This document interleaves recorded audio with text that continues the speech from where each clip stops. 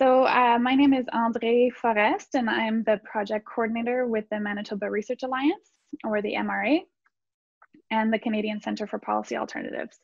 The Manitoba Research Alliance is a community academic partnership, and this research uh, that we're sharing today is funded by a partnership grant of the Social Sciences and Humanities Research Council.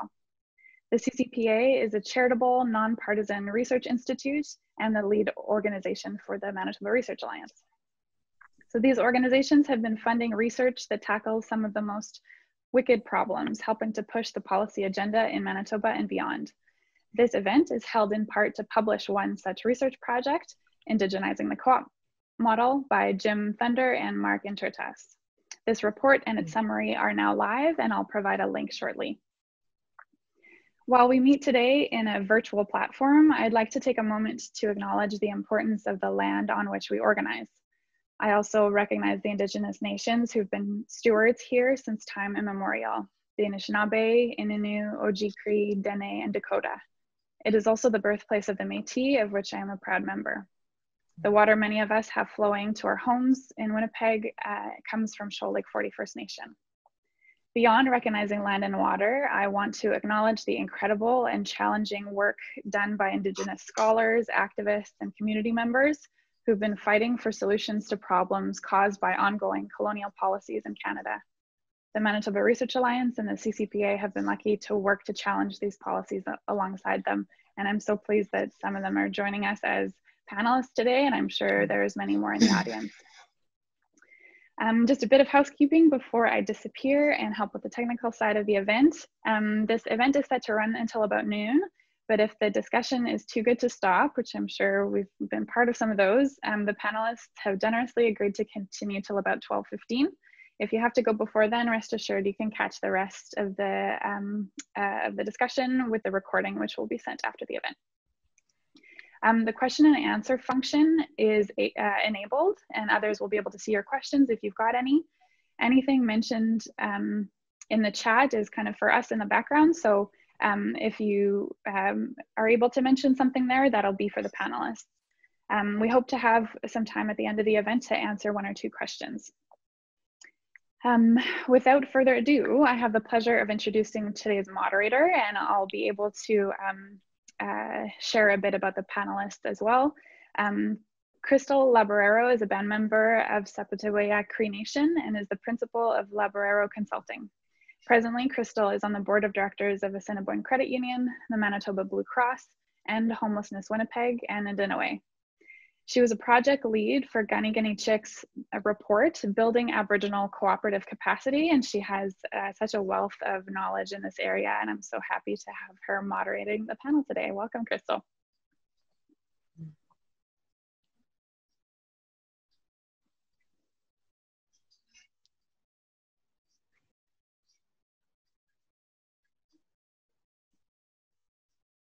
Sorry, Andre, were you going to go ahead and introduce the rest of the panelists or would you like me to do that?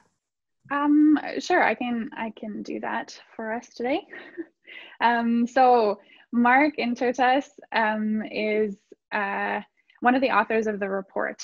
So um, Mark is uh, immigrated to Canada from 2007 from the Philippines, where he learned about the importance of community and the challenges that poverty brings. His research interests are focused on cooperatives, community economic development, and legal issues concerning First Nations. In 2017, he completed a master's degree in city planning, focused on the role of cooperatives in Winnipeg's North End and urban revitalization. He graduated from the Faculty of Law at the University of Manitoba in 2020. Um, Jimmy Thunder is the uh, other report um, co-author and is an Oji-Cree Asper MBA graduate, currently working as an economic and business development officer at the Assembly of Manitoba Chiefs. He actively encourages public engagement with the Truth and Reconciliation Commission's calls to action as an adjunct professor at Horizon College via social media as the founder of Reconciliation Thunder and as a social media strategist for Circles for Reconciliation. Kathy Mallett is a longtime collaborator of CEDA and a key leader in the creation of many highly effective Indigenous institutions in Winnipeg's inner city. Two powerful themes running through Kathy's decades of work are the safety and welfare of Indigenous women and children and the importance of economic development and job creation. She led the creation of Payuk Intertribal Housing Co-op, a 42 unit Indigenous housing cooperative. Mary Nirlungayuk is the corporate secretary and vice president corporate services with Arctic Cooperatives Limited. She has over 20 years of experience in Indigenous governance and has presented around the world on Indigenous topics related to cooperatives and governance. She's represented the interests of Arctic co-ops and the members of that co-op um, at Cooperatives and Mutuals Canada, Federated Cooperatives, and the Manitoba Cooperative Association. She's a vital resource for information and insight on Inuit culture, values, and perspectives, and is a director of Seed Winnipeg. So now over to you, Crystal. Thank you, Andre. Um, welcome, everyone. What a wonderful, beautiful, sunny morning. I know it's a bit chilly out there, but uh, um, we're um, we've got a great hour ahead of us. So I, I think you're going to be quite um, pleased with what you're going to hear in terms of the research that's been done. Um, so what is a cooperative? Let's start there. And I, you know, there's, I was looking up a couple of different descriptions, but essentially it's an organization or a company that is owned and controlled by a group of its members um, who each all have a share in it. So essentially it's working and acting together for a common purposes and it's guided by seven different cooperative principles. Um, so essentially that's what a cooperative is. I just wanted to briefly mention some of the work that I don't know if many of you have seen this document and it's a little reflective there, but um, so this is the work that I had been involved with uh, in terms of uh, Ka Ni Kanichihk. So a number of years ago, back in 2008, I just wanted to give some history. Back in 2008 was the start of the provincial um, cooperative strategy. And there was a, um, a, a, a, significant consultation that was happening in the community in terms of looking at um, a provincial strategy for cooperatives. And at that time, there was very, very little consultation done within the Indigenous community. And um, a woman, a very strong woman in our community by the name of Leslie Spillett, who was the executive director of um, Ka Ni Kanichihk, um, um, got wind of this and basically words with the province and said, you know, you know, it's really unfortunate that we're such a large population in Manitoba, but we were not consulted in the development of a provincial cooperative strategy. So um, phase two of the of the um, development of the strategy happened in 2015 and at that point is when um, um, leslie spillett had approached me and asked me if i would consider participating um, representing Ka Ni Kanichihk and participating on the steering committee eh, that um, allowed for uh, a phase two of the consultation. But in addition to that um, she had asked me to look at really developing a um, hands-on guide in terms of how we could engage more indigenous people in cooperatives here in manitoba so that's how this document came to fruition um, and how i um, learned more about cooperatives. Uh, as you know from the bio that was just read is that i'm on the, the board i'm actually chair of the board of assiniboine credit union which is one of the largest financial cooperatives in manitoba. So I've been involved in cooperatives for a number of years, um, but I would say my eyes were um, opened quite a bit as I embarked upon this journey of getting involved in the cooperative movement and, and really doing the research and, and finding out um, um the value and the benefit of cooperatives and how that mixes with um, the values and benefits uh, in, in, in our community. So, with saying that, I just wanted to give you a little bit of a background in terms of how I came to be involved in that. But I think what I'd like to do next is I want to move over to Kathy. Kathy, can you tell us um, what the impetus for this project was and why is this so important? Well, I guess um, I could probably start with again a little bit of history too, because I think people need to know hmm. uh, how these uh, projects come about. And uh, the journey for this project started in 2015. So, so you're saying you're the uh, provincial strategy committee was starting in twin, 2008, I think you said. 2008 was phase one. Okay, yeah. So, um, so we didn't get involved on this committee until that time period, 2015, and um, so we were there along with Crystal and a lot of other great people. And um, at that time, uh, there was a work plan that was developed, and uh, our committee talked about lots of different aspects of co-ops and you know uh, learning opportunities that maybe people could get involved in, uh, mentorship programs, etc. And one of the um, ideas that I, well, an idea that I had, a research idea, was the fact that uh, I always wanted to know uh, how would a co-op work in our community here in Winnipeg, in our Indigenous community, and um, and so um, I knew a little bit about the co-op principles because I was involved with our Payuk Intertribal Housing Co-op back in the 1980s, and um, so knew a little bit about that, and um, and so um, so then we decided at least at least we decided as a small group to to look at a research project on exactly looking at how would we indigenize the uh, co-op model in, and also looking at their because uh, it comes from the western part of uh, the world. And uh, and it's been in, in Canada for many many years this this co-op uh, model. And um, so we um, we planned um, to work with the uh, Canadian Centre for Policy Alternative and of course the Manitoba Research Alliance because they have a lot of expertise in research and also they have um, funding for uh, to do research projects and uh, we also also got involved with the Aboriginal Council of Winnipeg and we had asked uh, the council see if they would support and do the administration side of the project. So that was done. So this cooperative work was very new to us, and um, and so we uh, started, and this is when we came in into working with Dr. John Loxley. Uh, John is a professor at uh, University of Manitoba in economics and uh, he also uh, his role with us uh, was guiding us uh, in our research around the co-ops, but also um, in mentoring two of uh, the University of Manitoba students that were going to work with our research project, and that's Jim and uh, Mark. And so that's when we started our relationship with him. And um, unfortunately, um, just this past summer, uh, John passed away uh, to great loss to many of us uh, as colleagues, and also a loss to his family and many of his friends.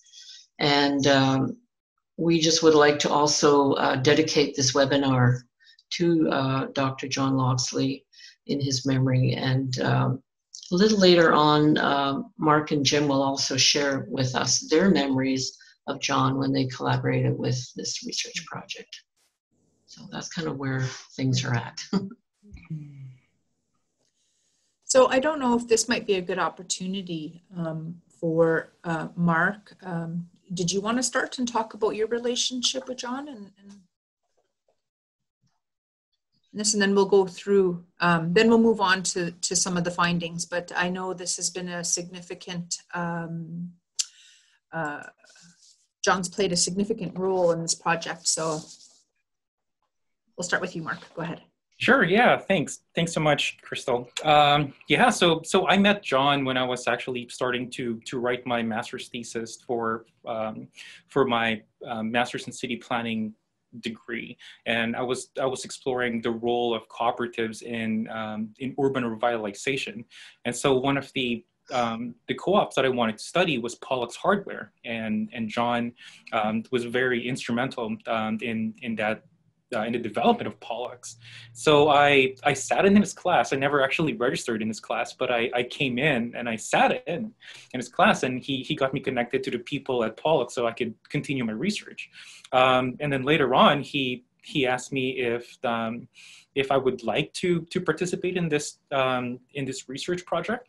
Um, he has a special way of, of convincing people. He knew that you're interested in doing it, and but you may have other things that would stop you from from participating. So he would ask the question in such a way that you couldn't resist it. And that's what he did. Um, and he just didn't give me an opportunity to, to, to uh, say differently. And so I, I, I, knew I wanted to participate. And so, so I did. Yeah. Mm, that's wonderful. Jim? Yeah, the same thing was true of me. Like you, at uh, I didn't know where uh, where the information session stopped, and like the work that assigned to me be, had begun. You know, like it's just he had that way of knowing that students are busy and you can't get a full commitment right off the bat sometimes. But but he hooked us in, and uh, yeah, just a great guy to work with. Um, I remember after one of our meetings, I think it was maybe the Yellow Dog or something. He was uh, he asked for a ride uh, to the car dealership. And so uh, at this time, like I didn't know uh, really like the significance of his of the work and his, his accomplishments. And so I found out that he was involved uh, with um, you know the apartheid movement in South Africa. And so hmm. I was joking with him, and I says like, "Wow, like of course be right. I, I get the honor of driving the Dr. John Loxley, you know." And so he's he was laughing with me and saying that I should shoot my uh, shoot my aim my sights a little higher. But uh, yeah. the thing about uh, the thing about John is that uh, you know as we were working through the research, I was asking him. Uh, I became really cognizant of the scope of the project and just how much research is needed for something like this to be done right. And so I was I was asking him about you know like how many pages do we need for this lit review and, and what should we expect people to know already? And he didn't give us what you would expect from like you know like an academic like asking a professor. He didn't give me a page count or anything. He just said like what do you think that people need to know? And i think that that was uh, is a pretty uh, you know it's shaped not only the research that i did but also just my own personal learning because it took it away from just being a project that we were doing um, and something that where the significance became extremely important like how is this going to impact the community? How is it going to make things better for people? And uh, so yeah, I just just really the research and the lit review just really blew up, and and uh, for my own personal learning, that was that was really beneficial for me. And uh, yeah, just as a result of his guidance, like I've, I've, just I've never stopped researching, I've never stopped learning, and I've never stopped, uh, you know, as he was doing with his career, just trying to make the community a better place. And so, just really appreciate his leadership. Thank you, Jim. You know, it's evident that uh, um, he has definitely had a huge impact, not only on our community, but on students and individuals. So thank you for sharing a little bit about that. So let's move on here. Um, so I'm going to pose a question to both Mark and, and, and Jim, and it's a question for the authors. Can you take us through the most important elements of your research and the key findings? And I'm not sure who I'm going to turn it over to yet. Who's going to start? Uh, I guess I could jump in, into it first. I think like the most important uh, element. Uh, it's it's really difficult to say because um, I think that the the lit review is uh, it was really important. It's foundational because there's so many things like a, a lot of people when you look at economic development, you there's like this stereotype of indigenous people as empty vessels that need to be filled, but they're resources in and of themselves. And I think the lit review was it's really important to look at the colonial context and the reason for which we need economic development. And uh, so I think that without having that foundation, then uh, you can really steer the conversation in a wrong way, you know. And so I, I would say that is really important. And but also even just uh, what we're going to talk about in our presentation is uh, the indigenous elements of success model and just looking at how indigenous peoples themselves define success and uh, what development is and uh, that type of a thing. And so, and we'll talk about that a little bit more in the presentation. Okay. And, and I would just like to, to add to that, that um, we, we came to a lot of realization um, in regards to to the accessibility of, of things. Um, so the problem is not with the people who's trying to enter into uh, a business or into the cooperative model, uh, but there have been a lot of challenges with the accessibility of starting a business, uh, starting a corporation or an enterprise or a cooperative. It's, um, it's just a highly complex matter. Um, and sometimes the, the assistance may not be available to, to the people who, who would like to engage in that process. Thank you for that. Um, so I understand we have a presentation that you're going to share share on your screen. I do. Um, all right.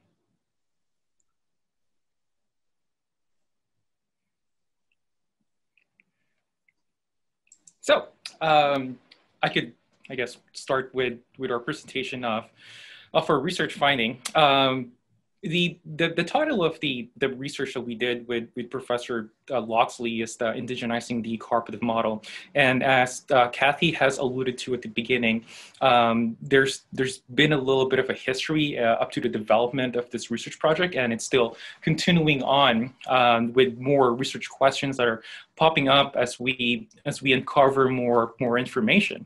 Um, yeah, so, so in, in essence, um, Kathy and a few other uh, people, uh, John, um, had this uh, question in their heads on on um, the similarities between the indigenous cultures and the the principles that guide the cooperatives. Because at uh, at first glance uh, they seem to be in synergy and they agree with each other. Um, however uh, they've also noted that uh, it appears that there's not a lot of cooperatives um, in, in Winnipeg or, uh, or in, uh, as well as in certain provinces in, in Canada as well. And so they wanted to, to know um, what, are, what is causing this problem, um, as well as they wanted to be able to to create this model wherein the synergies between indigenous cultures and the principles of uh, cooperatives can actually be blended together um, so that we could hopefully uh, encourage more indigenous peoples to uh, to engage in in the creation and the uh, operation of a cooperative and so to to conduct the the research project we did what um, most research projects would do. Uh, they they look into literature review, uh, in which uh, works of John Loxley uh, was very instrumental. Uh, we of course uh, conducted interviews with elders, people who work in the cooperative, indigenous people who were engaged in cooperatives, as well as government uh, officials, um, lawyer. Uh, there was one lawyer who we talked to who was uh, uh, instrumental in in creating cooperatives, and she was uh, she was one of the few lawyers to to actually knew how to incorporate a cooperative. Um, most interestingly, uh, for at least for me, uh, is the design workshop, wherein what we did is we invited people, indigenous people, to come in, and we asked them to try and uh, visualize a business or an enterprise that they would produce and how uh, that might look like, how they would govern it, um, what kinds of decisions would would be made, and how would they make those decisions.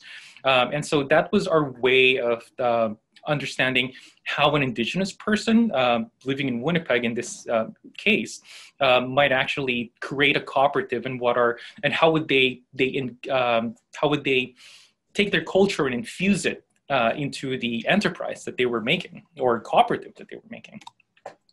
And so this is um, just a little bit of a, a, a, graph that, that we have that shows uh, the situation of indigenous cooperative. The the the numbers that we got here were probably sometime around uh, was was from 2012 or 2013. Um, so so what we did here is that we we we standardized the number of uh, membership in indigenous cooperatives based on the number of indigenous population, so that we could see the difference um, in um, you know, per province on who's who's who has the most cooperatives uh, or membership in cooperative, and we could see that Northwest Territories um, is is high up there.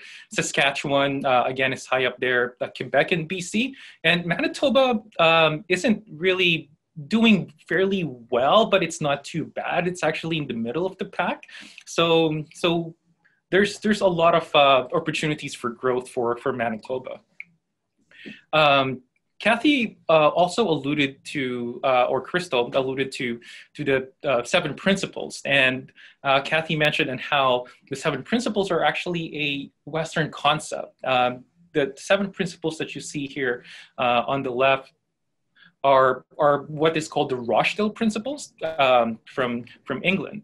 And, and these are the principles that the traditional cooperatives um, uh, abide by and uh, it helps guide their decisions and how they operate their business uh, so that the cooperative is not just a business that is for profit but um, has a social function as well now we in Manitoba, we took those principles and expanded on them. And, and hence we have the 11 Neechi principles that you have on the right-hand side.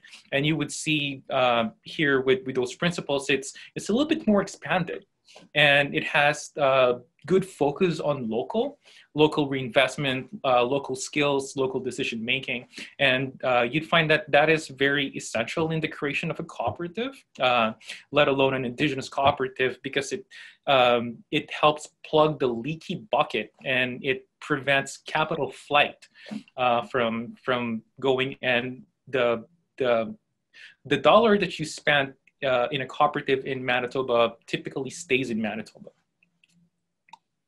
Right, uh, Jimmy. Yeah, and so um, and that's that leads us into this discussion here uh, in terms of um, what success looks like for Indigenous uh, communities.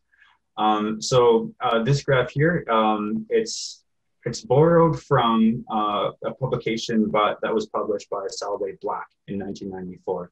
Um, it's the it's not her creation specifically. It's the creation of the First Nations Development Institute, and uh, what you have here is you have a this graph talks about what successful economic development looks like. So we don't have time to get into all 16 principles, uh, 16 uh, different dimensions here, but I just want to highlight. First of all, this is made off of uh, based off the Cree medicine wheel. So there is no indigenous medicine wheel. This is this is made by Cree people as an example of what uh, Cree people uh, would see successful development looking like. So uh, it's an example. It's not meant to be a pan-indigenous approach, but it's a good example of uh, looking what successful economic successful economic development looks like for indigenous peoples.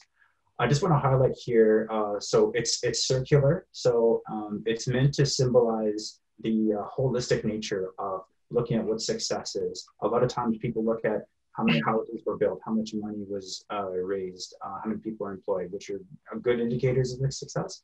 But with this model, you have uh, you're looking at the whole community, you're looking at the whole health of everyone involved, and uh, all the different factors are equal.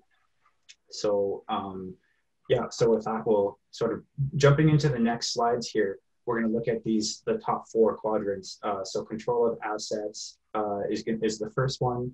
so we have control of control of access, control of assets, spirituality, uh, kinship, and uh, and uh, that the last one.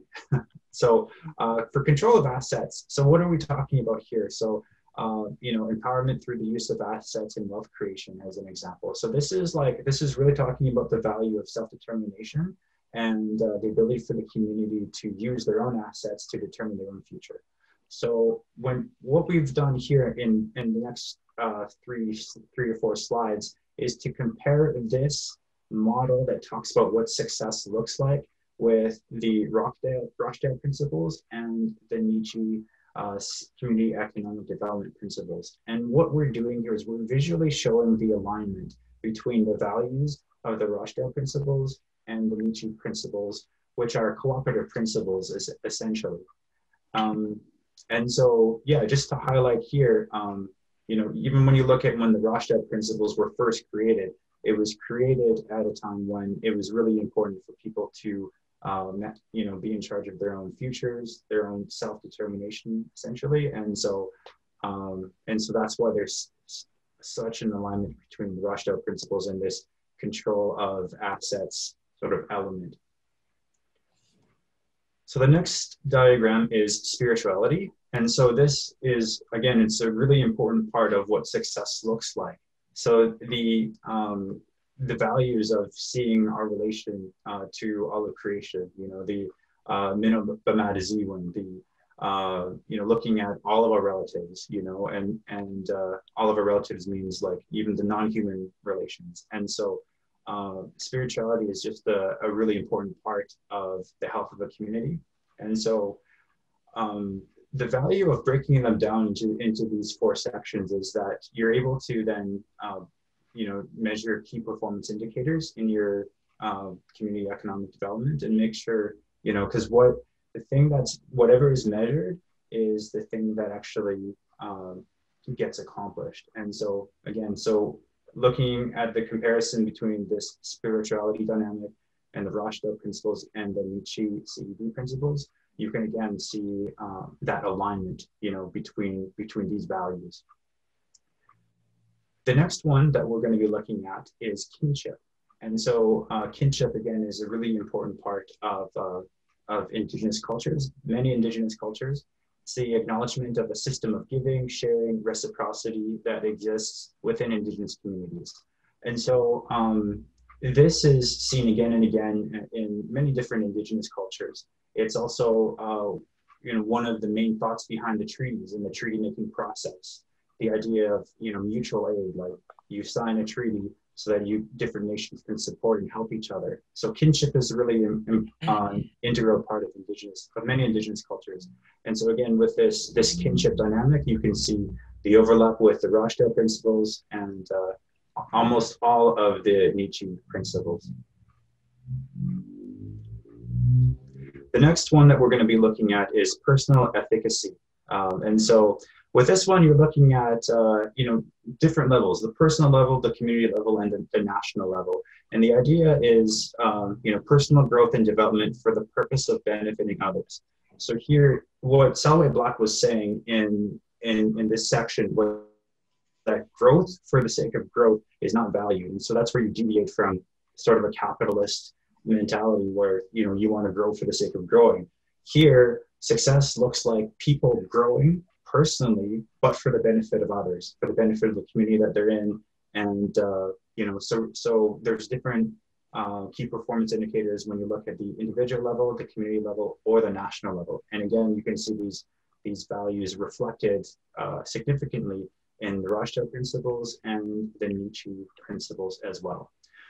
So when you look at these three different uh, charts, uh, these four different charts, you can see that uh, there is, in fact, when you just looking at this one model that was developed uh, from the Cree medicine wheel, you can see even with this one example that there is a lot of alignment between the, um, you know, between this particular indigenous culture and uh, the, the cooperative model in itself.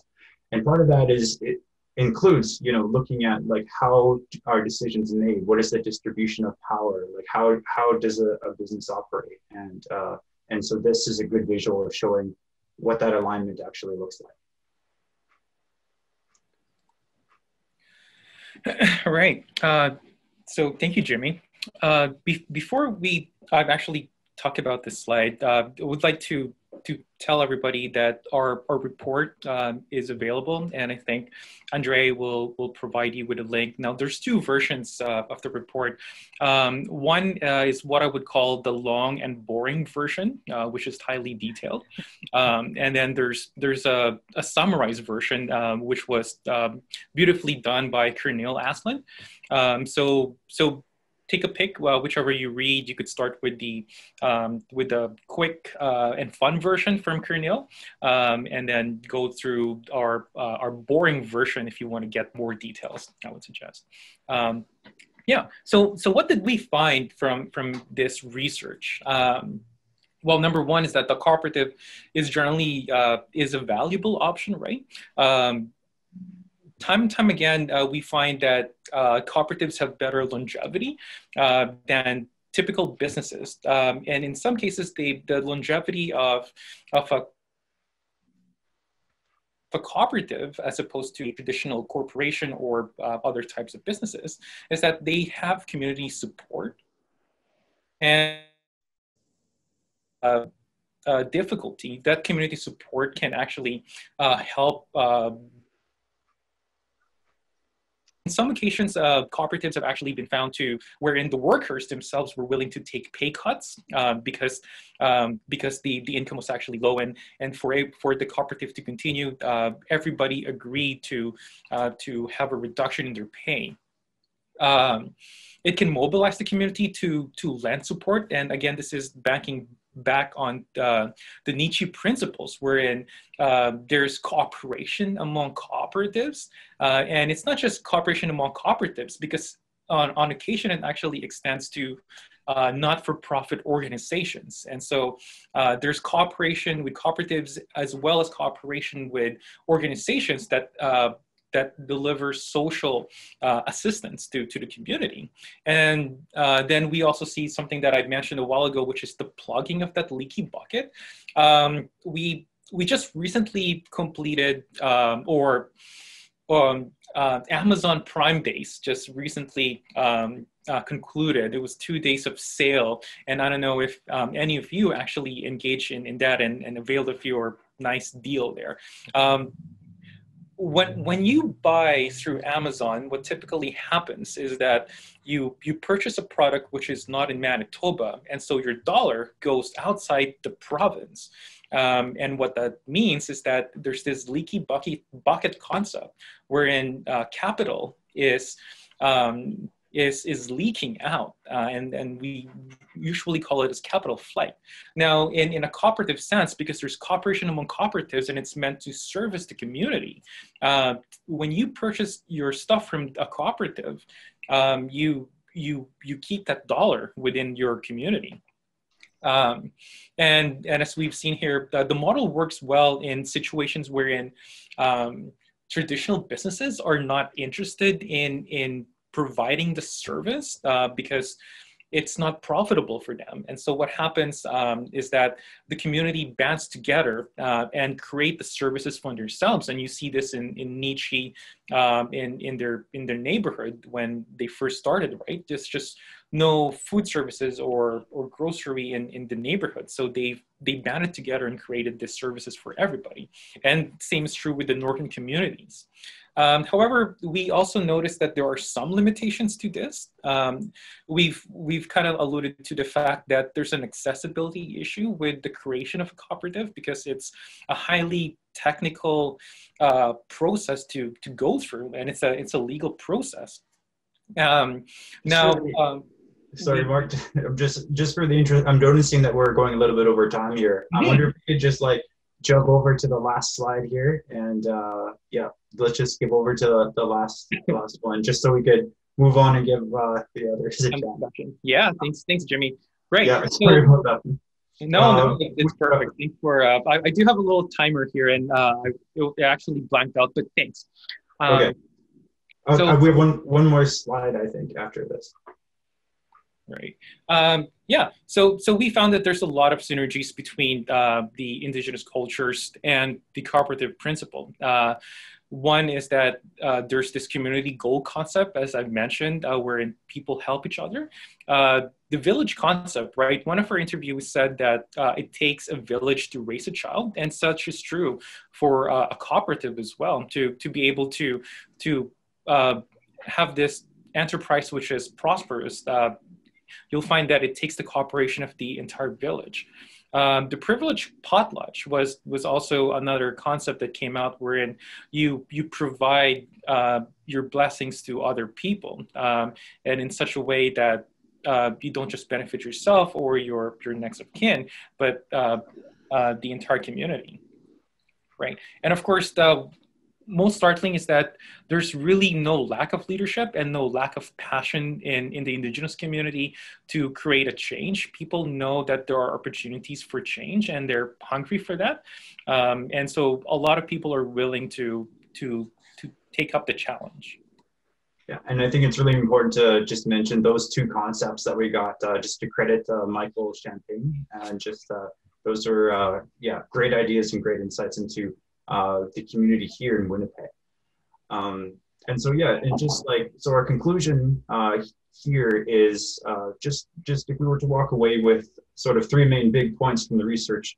The first is that the cooperative model is not a magic bullet solution, but it does provide advantages that are not found in other business models. So it can create employment, service communities when other models aren't incentivized, but there are still challenges in creating them and we'll talk about that a little bit more in the uh, in this uh, event. Um, second is that indigenous peoples, like if we're looking at uh, what it means to indigenize something, indigenous peoples will indigenize whatever model that they use.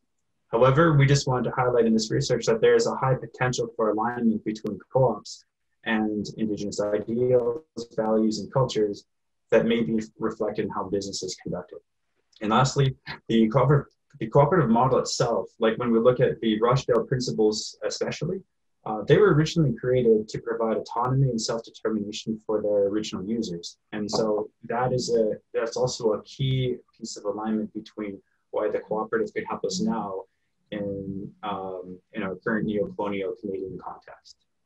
So yeah, that's uh, that's a good summary of our project. And uh, yeah, we'll turn it uh, back to you, Crystal.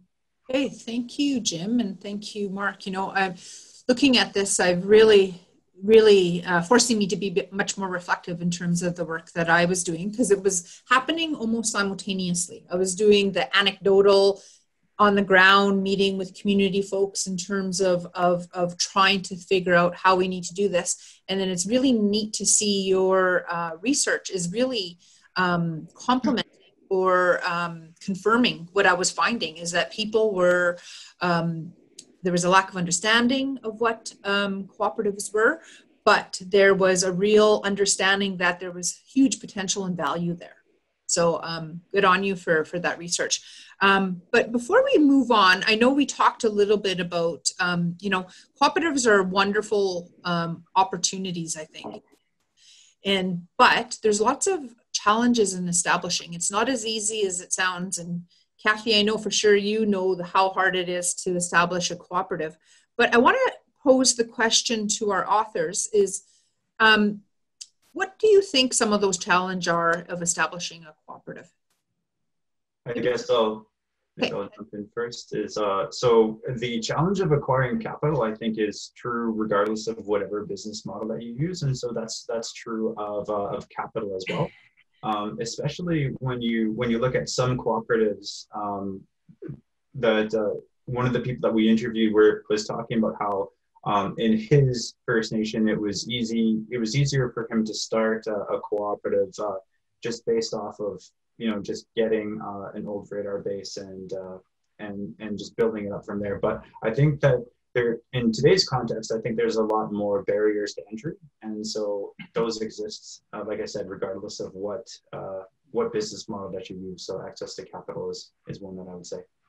Thank you, Jim. How about you, Mark, from your perspective? Um, what I can remember um, is our interview with, with Michael Champagne, actually. Uh, what, what he mentioned is that they don't teach you how to, in school, they don't teach you how to, to start a business.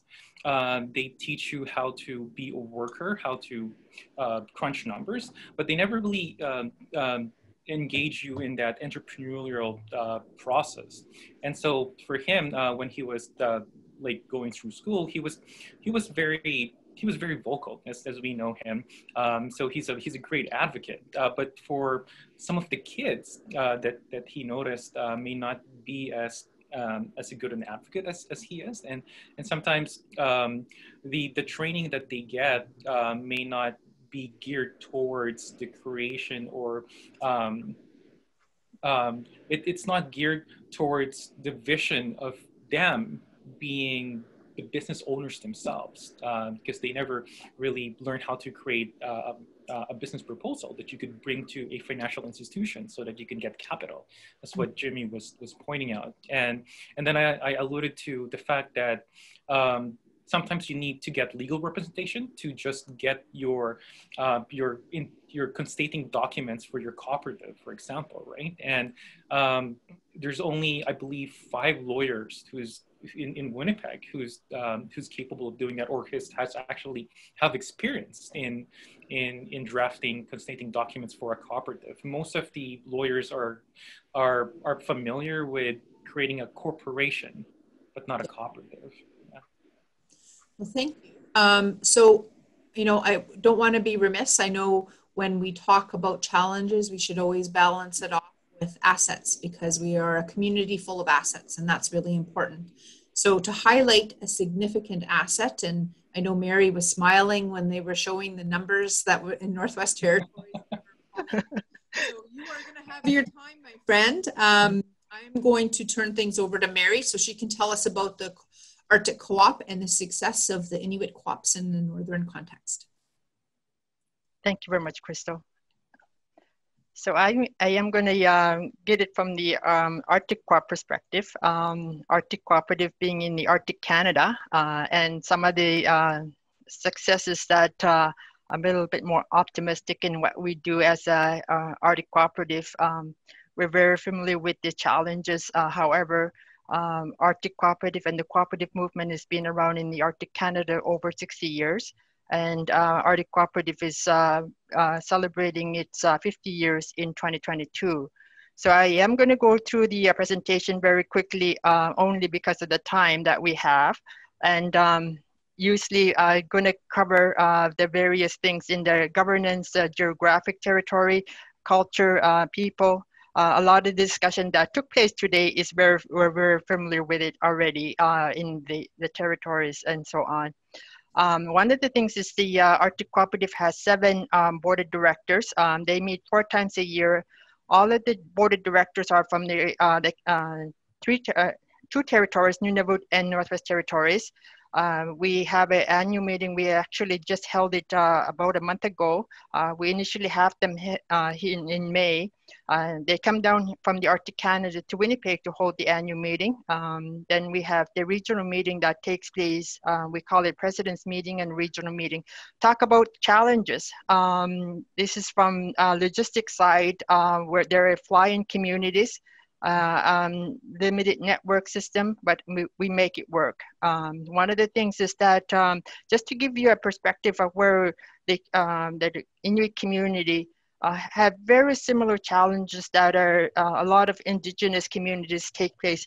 It was a reversal on my end because I'm used to making in the, in, in the communities, um, we action them immediately if there is there's challenges coming down to Winnipeg, I realized were here in the provinces that you're referring to, I was like going back in time. Like I, uh, my my head was spinning. Like holy smokes! Like that's where where we need to do something here. But in Arctic Canada, um, it's yes, we have challenges. We uh, the communities went from the uh, nomadic way of life to, to settlements to residential school and various things, but the cooperative movement really reflected um, the uh, uh, values of the uh, Inuit and uh, Dene communities. So I'm going to reference very quickly of our members, anywhere from um, Grise Fiord, northern, pro like in the sense of the northern furthest north, Resolute Bay to Oak to Pang, uh, to Sanikiluaq. So geographic, uh, you cover the provinces, but it covers the, all the territories where members are. Uh, and a lot of the fly-in communities that I reference is um, one of the things that challenges, uh, talk about logistics. Uh, how do we get products into these communities and how do we fly in all the products into these communities and other things that um, uh, we talked about, uh, you talked about in the provinces that you may face, um, but we make it work. Um, one of the things is that Arctic Cooperative has a history uh, of, uh, initially we were based, they were based in Yellowknife. They moved to Winnipeg. That's our home office here in uh, Winnipeg office. Um, so this is a, um, over time, it shifted um, for many years to see where it, uh, there's an arm called Co-op Development Fund. This is the uh, fund that actually supports a lot of the um, assets to inventory to new vehicles. So the fund actually uh, loans uh, to the member co-op um, in this particular area. I am going to go very quickly. 32 member co-op location. Uh, there's about 20,000 individual members and over 1,000 um, employees uh, across the Nunavut Territory, Northwest Territories, and Yukon. Uh, and it's, a, it's one of the uh, largest private sector in employing Inuit and Dene people. So what uh, the first uh, cooperative that really started is through art, art marketing. Um, like carvings and various things when the community started to settle um, they were making carvings and various things. And how do we market that product? Um, it's one of the things that that's the reason why a lot of the cooperatives started um, in these communities. So um, it really re valued the uh, inuit values and and so on um, showcasing their uh, um, the culture uh, and so on. But these are the thing, couple of things that we actually um, uh, how the cooperative model started in very close to the uh, the culture itself. That's why uh, the cooperative in Arctic Canada is, is uh, where it's at today. I'm going to talk very quickly as well of the early leaders. We had really strong leaders um, when it first started. John um, Bill Lyall. I'm going to put the book here. He authored a book about uh, how to start the cooperative And uh, one of the things that he truly believes the fact that if it wasn't for the co-op, we would have been worse off today. Because of the co-op today, Inuits are, and the Dene are successful because the economic benefit goes back right into the community. And I, I showcase my dad here. Um, he was my mentor as well, um, as well as uh, truly believe the fact that um, Inuit needs to be able to carry their own, uh, like in the sense of being part of the business. And so a lot of mentorship came into that at play. I know Vera's here today. He was our, um, one of the, his dad was uh, one of the founding uh, cooperative movement in, in, the Arctic Canada. Um, so um, this is a couple of the histories that I am also referring to. Gender balance. Uh, we initially had a very good, um, like in the sense that early leaders were uh, tend to be male. Today, we have a very good balance in the governance model uh, the member cooperative in these communities actually um, a lot of the uh, female are on the governance um, very good uptake um, which is very it shifted over the years but the women's were always the leader but never really on the board side that shifted which is so good to see on my end uh, to see that there's a balance in there as well Uh, and one of the things is success is just showcasing some of the retail operations that we have um, and a lot of the items that you see are flown in or by ship, uh, ship that comes up once a year. Just imagine the logistics side of that, uh, looking at from that these communities. More, um, more, more, more items in there. I'm just going to quickly go through these. Inns North, some of the um, um, um, the communities don't have hotels. They create a business um, from that uh, uh, from that side. Uh, the various um, businesses that the member corp tend to be in are some of the items that here invested uh, into the community. Um, these are the things that actually we do training, small engine repair, uh, the hotels that are safety food handling are some of the uh, trainings that we also assist uh, from the Federation. And one of the things is that uh, economic benefit. imagine the wage that goes back into the communities employing over, uh, I mentioned thousand, um, but there are the economic benefit back into those uh, communities and just uh, certification, uh, training is so important that is always, I think part of sometimes it get it, it gets missed uh, from the employment side of things. So one of the other successes that we have, and we don't tell this enough uh, about it, is that recycle program. We don't have a recycle program in the Arctic Canada. How do we transport all those uh, uh, can uh, back to Southern Canada? And this is something that we truly, um, I think, is one of the success, one of many successes actually. Um, we uh, the sea can containers get shipped up there. How do we return back those um, uh, pop cans? We fill the uh, sea cans, fill them in, in return, um, bring back, uh, donate the $1,500 if they fill it, and they could use that money to see what they want to do in their projects. And economic uh, democrat, uh, uh democracy, um, our, the member 32 member location owns Arctic Cooperative as a federation. We get our direction from the members and uh, annual meeting is a way, one way that we get our direction from the members. Uh, some of the communities I'm just showcasing very quickly from there. Uh, a lot of areas, uh, language was mentioned, um, and uh, we have to be very cognizant of the uh, the language of the Inuit, various Dene communities. I prefer to speak in my language, but I guess English is very prominent. But um, but in these cases, is being reflective of the the language itself. So uh, I am ending there. Uh, thank you for the presentation and thanks for inviting me for uh, to speak today on behalf of the uh, the study. Thank you, Mary. Wow, there's uh, you know that you showed us just an array of opportunities and um, success stories of cooperatives that have um, um, Arctic Co-op has participated in, in developing and working with in, in the north. So thank you very much for that. Uh, just cognizant of time, we're reaching noon. So we did have an array of questions. So we're just going to focus a little bit here. And um, the question I'd like to pose to all of our um, panelists today is let's talk more about the uh, cooperative models and the connection to self-determination. Um, you know, all of us are um, um, understand this between the research and, and our work that we've done in the community. Um, so let's start with Mary. Yeah, thank you. Um, I mentioned earlier in the presentation of the self-determination in the in the community. Um, our early leaders were very strong, and what can we do to support the community members from the foundation of the uh, the community itself? And this is something that was driven um, rather than somebody coming into the community so often in the community somebody comes in start a business knowing in, they're not including the community uh, they're not including the various things they make the money goes out. That is one thing that i would suggest is that include the community because they know their communities we need to start including um, i mean we're here today in 21st century and we're finally talking about indigenizing the cooperative movement across Canada. So, thank okay. you. Mark, Mark, your thoughts?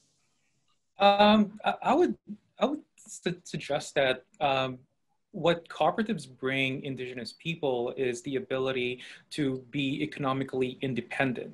And there has been a lot of cases, that, if you look at BC, where First Nations who, who are able to, to engage in business and become very profitable are, are able to, um, to, to to, to get more self-determination on what they want to do um, because they have the financial capacity to do that. And you'd find that they often um, in some cases engage uh, in, in, in, in, legal disputes uh, so that they could fight for their rights because now they have um, the, the finances to support it. Um, so um, having that cooperative uh, and having that business enterprise to, to bring in um, income uh, for the community uh, is actually um, quite, um, quite liberating. Yeah. Thank you, Mark. And Jim. So yeah, and then just just quickly before I jump in and answer that, I just want to make sure I know that we're starting to lose people here, um, seeing the attendance drop, but I just want to let everybody know that uh, we are going to have another session. This session is going to take place in the new year. I know that uh, so we're working as fast as we we've been working as fast as we can to type our answers to some of your questions, but just let you know that we're reading them and listening to them, and uh, some of them are really great and we can touch on them in the next session. But just keep uh, keep a lookout for the next session. It'll be in the new year, and uh, we're going to continue the conversation uh, and continue elaborating on it. So just uh, yeah, so just uh, just make note of that and keep looking for that, and uh, and we will continue the discussion then. Um, and just to answer the question, I think you know I think it's important also to consider that when we're talking about um, economic development, we're ta- we're not uh, making any assumption by any means that indigenous people are not able to participate in the economy. I think that it's really important to recognize that um, even in our, our, Canadian context, you know, uh, our colonial context, while treaties were being signed, you know, uh, you know, after the Robinson treaties, after pre-Confederation treaties, and Canada starts to uh, work through the numbered treaties. In the middle of that process, it unilaterally uh, you know, just, uh, you know, launched the Indian Act and they applied it and without any consultation of indigenous peoples. And so the Indian Act include, uh, you know, focusing us and restricting us onto reservations. We had the pass system, which uh, prevented us from leaving without permission. The permit system, which didn't allow us to buy or sell without permission. Uh, we had an inability to, uh, you know, to use lawyers to hire lawyers, um, and uh, you know, and severalty was another was another policy, and so we couldn't work together to buy farm equipment, for example, and collectively own it and use it and work together. And so, and, and on and on. If you look at all the different policies, this is uh, one race-specific policy that is meant to eliminate our participation in the Canadian economy. And so rather than honoring the treaties and allowing us to be equal participants and this brother to brother relationship that you see in the speeches when the treaties were being signed, you have this, uh, this, this approach that excludes one and, uh, and makes it, a for, and creates a forced dependency on the other instead of having both win. And so instead of having the nation the stronger, you have, you have one overpowering the other and they're both weaker. And so I think that it's important to remember that context that when we're talking about the cooperative as a means of helping Indigenous peoples participate in this Canadian economy. It's not to do with anything uh, that uh, that we ourselves are lacking. We're coming back from and we're recovering from these Indigenous specific policies, and so um, it's it's a way for us to go back and to undo some of these policies that uh, that restricted our First Nations, restricted our communities, and uh, it just allows us to um, you know to take the next step of uh, rebuilding our nations. Thank you, Jim. And Kathy. Well, I think um, I think for us here in our community, in the Indigenous community here in Winnipeg, co-op models would be very successful in even in in the terms of housing. As we all know, housing in the city here has been a huge problem for our community. My own family came here in the city in the 1950s, and I can tell you the housing was pretty bad, and it's been bad throughout the years and still is bad.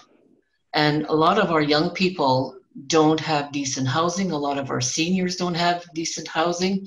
And I think that, you know, doing it in a cooperative uh, model would be so much beneficial for our community, as well as it would create jobs and it would create a very cohesive kind of community. And uh, as a matter of fact, uh, uh, we've been looking at trying to develop a seniors co-op for uh, for our 55 plus people here and um, it, it's it's going to be a lot of hard work. And uh, I, would like to throw out a challenge to a lot of the young people out there uh, that are that's listening to our webinar. If if they're interested in helping us develop our seniors co-op, hey, the more help, the better. We aren't getting any younger, as you can tell, and we do need a lot of more young, energetic people who can be involved in, in doing a, a co-op. And uh, we do have a vision for, for our co-op, for our seniors, and uh, I think it's a very positive one, which. Thank you. Well, um, cognizant of time, it's 12.06. I wanted to uh, take this opportunity to thank everybody for participating in our session today. Um, I understand that there has been links provided in terms of providing you with the full document as well as a summary condensed version. And um, this will be available also the item sorry the, this webinar has been recorded so it's also going to be available as a webinar for others to view. So thank you very much everybody and um, wish you well and uh, take the time to read the document. There's some really good information there. And um, i'm a strong advocate for um, cooperatives. I think it's a model that could work for our community and, and Mary has demonstrated very well how it's worked in hers. And um, I think we need to consider this moving forward and um, really bring awareness to the issue. And that's to me that is one of the biggest things is we need to focus on how do we even make sure that the our indigenous citizens of Winnipeg even know and understand what a cooperative is because that was that some of that basic stuff still needs to happen. But thank you and have a wonderful, wonderful day. Okay. Thanks, everyone.